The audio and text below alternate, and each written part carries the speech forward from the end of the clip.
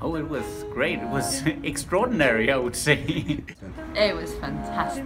I loved it from the first second. Yeah, it was it was uh, awesome. It was a great experience. Uh, very intense, uh, very thought provoking, um, pushing me out of my comfort zone. It was an amazing experience. It's uh, the real nice uh, uh, going into a dream kind of experience where you really uh, reality and fiction melts together, and you really get to to question yourself: Who am I? and uh, what's how do I identify myself?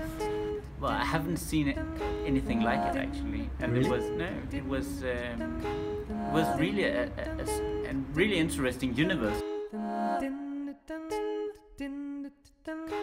But it's not a stage performance. It's totally different. It's like being inside a fairy tale slash PlayStation game with super cool uh, graphics slash surrealistic world full of love kind of thing. It's so intense, you are the only one there. So, and you also, as an audience, have a responsibility to make things work.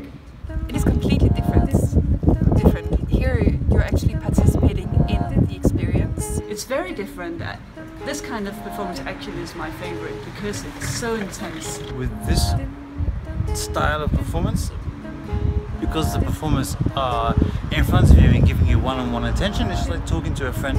You you get invited into uh, this one-to-one interaction. Oh, definitely the one-to-one uh, interaction is, uh, is is a new experience, and I think for most people it would be a, a new experience, and uh, I think everyone should try. Definitely, as soon as they give me my mobile phone back, careful with your phones, uh, I'll start texting everybody. Absolutely, yeah, absolutely. Everyone should go. Yes, I would. Also, it's great. Go and go with an open mind and with a yes hat on.